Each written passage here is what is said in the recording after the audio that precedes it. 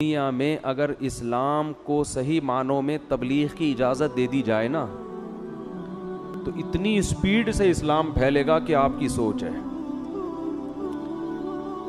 मसला सारा ये है कि जो हकीकी मानों में, गैर मुस्लिमों में तबलीग करते हैं ना, उनकी राह में रुकावटें खड़ी कर दी जाती हैं। जिसकी सबसे बड़ी मिसाल डॉक्टर जाकिर नाइक। भाई, आप तो ब्रॉड माइंडेड हो आप तो लिबरल लोग हो, आप तो कहते हो कि कोई भी कोई नज़रिया रख सकता है। तो डॉक्टर साहब को इजाज़त मिलनी चाहिए, अमेरिका में भी। डॉक्टर साहब को इजाज़त मिलनी चाहिए यूके में भी। डॉक्टर साहब को इजाज़त मिलनी चाहिए, लंदन में भी।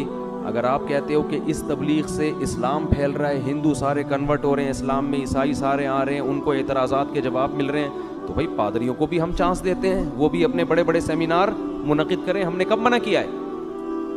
बहुत मुश्किल है, बहुत मुश्किल। हम पंडितों को भी कहते हैं, यार, तुम डॉक्टर जाकिर नाइक से बड़ा प्रोग्राम करो यार, मैं भी आऊँगा उसमें। ठीक है ना? भाई, हम तो आज़ादी दे रहे हैं ना। हम कोई तलवार की ताकत से थोड़ी किसी को मुसलमान बना रहे हैं। हम कह रहे हैं कि जो सेकुलर और लिबरल हुकूमतें हैं, वो, उनका ये दावा है कि नज़रिया रखने में, कोई भी थ्योरी रखने में, कोई भी, यानी थिंकिंग के मामले में हर हर आदमी क्या है? आज़ाद। तो भाई आज़ादी तो सबको यार। हम कह रहे हैं, भाई, हिंदू को भी इजाज़त होनी चाहिए हिंदुस्तान में कि वो अपनी, वो लोग उस पर एतराज़ात करें। वो डॉक्टर जाकिर नाइक की तरह खड़े होकर एतराज़ात का जवाब दे हम सबसे पहले मैं एतराज़ करूँगा पंडितों से। भाई, गाय को अगर आप अपनी माँ कहते हो, इसलिए कि वो दूध देती है तो भैंस तो फिर नानी हुई। क्या ख्याल है भाई?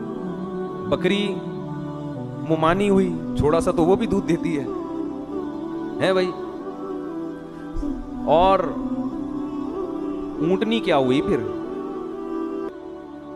जो बकरी, हम तो डब्बे का दूध, आजकल तो लोग, मैं तो नहीं पीता खैर लोग डब्बे का दूध पी रहे हैं। तो डब्बा उनका क्या हुआ फिर? फिर तो डब्बा भी कुछ होगा। और भाई हम ये पंडित से इश्काल करेंगे कि चार भगवान पे एक क्या मिल रहा है थाईलैंड में? फ्री होल सेल के हिसाब से। तो ये भगवान की इज़्ज़त है या तोहीन है? भगवान के रेट एक जैसे क्यों नहीं है पूरी दुनिया में? चार भगवान पे एक फ्री बोलो, क्यों मिल रहा है? जैसे डॉक्टर जाकिर नाइक से लोग सवाल पूछते हैं ना। भाई ये लिखा है कुरान में, ये लिखा है, ये लिखा है, ये साइंस के खिलाफ है, ये क्या लिखा भाई? वो वो फिर जवाब दे रहे होते हैं। तो भाई हम कहते हैं कि डॉक्टर जाकिर नाइक को भी पूरी दुनिया में जाने की आज़ादी दो। अगर आप ये समझते हो कि भाई इस्लाम इससे गालिब आ जाएगा, ये अपनी राय थोप देंगे तो भाई हम पादरियों को भी इजाज़त दे रहे हैं कि यार एक सेमिनार डॉक्टर जाकिर नाइक का होगा, अगले दिन किसका होगा? कोई पॉप पॉप होता है ना, इनका बहुत बड़ा, उसका बहुत बड़ा वो प्रोग्राम होना चाहिए, उसमें हम इश्कालात करेंगे। तो सबको इजाज़त होनी चाहिए। लेकिन ये इजाज़त नहीं देते। इनको पता है कि अगर खुली छोड़ दे दी तो इस्लाम का पल्ला भारी होगा। इस्लाम के मुकाबले में उसके टक्कर में कोई आएगा नहीं। आएगा नहीं उसके मुकाबले में। इसलिए पाबंदियाँ लग रही हैं। डॉक्टर जाकिर नाइक से जब मेरी मुलाकात हुई ना तो उन्होंने बताया कि लंदन में जो मुझ पर पाबंदी लगी है, वो इस बेस पे लगी है कि मैंने ये कह दिया था कि हज़रत ईसा अल्लाह के बेटे नहीं हैं। तो उन्होंने कहा कि आप ईसाइयों के जज्बात को मजरूह कर रहे हैं। लेबल तो कुछ भी लगाना होता है ना अच्छा खूबसूरत सा। कौम के जज्बात मजरूह हो रहे हैं। तो कहते हैं, अगर मैं यही दावत देना छोड़ दूँ, मैं इतनी मसलहत से काम लूँ तो फिर मैं करने क्या जाऊँगा वहाँ पे? ठीक है ना? ये तो इस्लाम की बेसिक है ना। ये मुझे बड़ा अच्छा लगा उनकी बात कि अपने विजन पे थोड़ी कंप्रोमाइज करना है। कुछ चीज़ों में तो इंसान दाएँ बाएँ हो जाता है, लेकिन इस्लाम की बेस ही आप जड़ से उड़ा दें तो मैं वहाँ क्या घास खाने जाऊँ? उन्होंने तो नहीं कहा घास खाने, यानी फिर मतलब क्या हुआ? मैं तो वहाँ वैसे ही घूमने फिरने जा रहा हूँ। तो ये तो बयान होगा कि हज़रत ईसा अल्लाह के बेटे नहीं है। ईसाइयों में तो यही बयान होगा, हिंदुओं में यही बयान होगा कि ये बुत जो अपने हाथों से बनाते हो, ये मबूद नहीं है, ये मुश्किल कुशा नहीं है। तो अल्लाह ने फरमाया वईदा समी रसूल और इसमें नजाशी की तरफ़ भी इशारा है। नजाशी ईसाई बादशाह था। जब हज़रत जाफ़र तैयार ने सूर मरियम पढ़ के सुनाई है नजाशी को तो खुद भी रोया और जितने पादरी उसके इर्द गिर्द बैठे हुए थे, सब की रो रो के दाढ़ियाँ तर हो गई। ज़िक्र रहमत रब्बी का अबदहू जकरिया इदनादा रब्बहु निदाअन खफिया, क़ाल रब्बि इन्नी वहनल अज़्मु मिन्नी अर्रअसु वलम अकुम बिदुआइक रब्बि शकिया ज़करिया अलैहिस्सलाम की को तो ईसाई अपना पैगंबर मानते हैं मगर कुरान उनके वाक़यात को कैसे खूबसूरत अंदाज में बयान कर रहा है वज़कुर किताब मरियम इदिन तबदत बिही मकान कसिया फ़ाजा अहल मखाद इला जिद नखला क़ालत या लईतनी मित्तु क़बल हादा वकुंतु नसीम मनसिया बग़ैर शोहर के हमल ठहर रहा है। वो कह रही है, हाय काश ये दिन मैंने ज़िंदगी में देखा ना होता। ऐसा खूबसूरत बयान किया हज़रत जाफ़र तैयार ने जब सूर्य मरियम पढ़ी है, नजाशी की आँखें रो रो के तर हो गई। और अजीब बात बताऊँ, कुरान जिसको समझ में नहीं आता, उस पर भी असर करता है।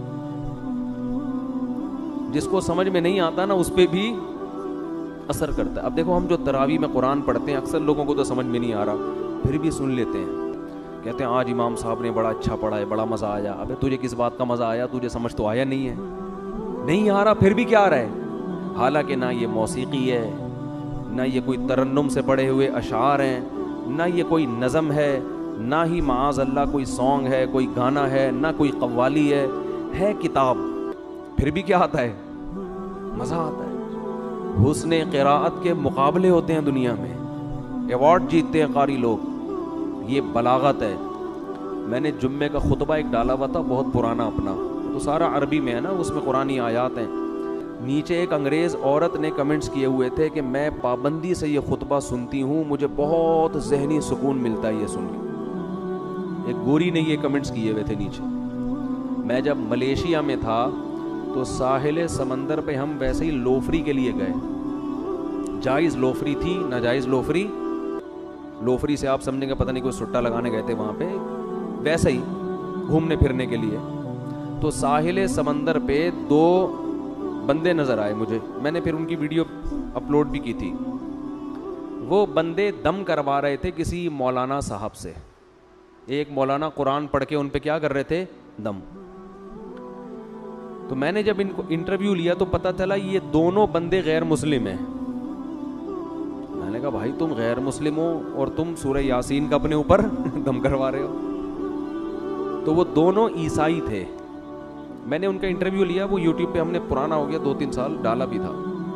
वो दोनों कहने लगे कि हम जब बाइबल का अपने ऊपर दम करवाते हैं, हमें फ़ायदा नहीं होता। हम जब कुरान पढ़ के दम करवाते हैं तो हमें सुकून मिलता है और शिफा मिलती है। तो मैंने कहा, भाई, फिर इस्लाम कबूल कर लो, अल्लाह के बंदो। ठीक है ना, जब तुम्हें एक वाज फ़र्क पता चल रहा है, खैर, वो उनकी, उनका हेडिंग है, कबूल करें, ना करें। तो नजाशी की आँखें रो रो के तर हो गई। साहब कराम तो ये कुरान पढ़ के बहुत रोया करते थे। हमारे दिल सख्त हो गए।